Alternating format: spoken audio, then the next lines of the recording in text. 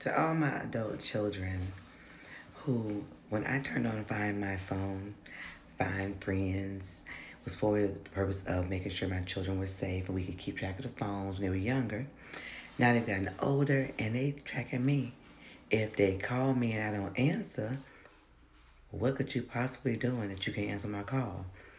Then they're like, well, I know you're not busy because you at the store or you at the restaurant. And who you with? Because daddy not there. Daddy's at such and such. If you don't mind your business, I'm about to cut off, find my phones, find my children, find your mama, find somebody else, man, but not me, okay? Stop tracking me. I'm a whole grown adult. You hear what I say? Call me again and tell me you look at my location. I'm cutting it off. Yes, Chanel, first of all, because she's the worst.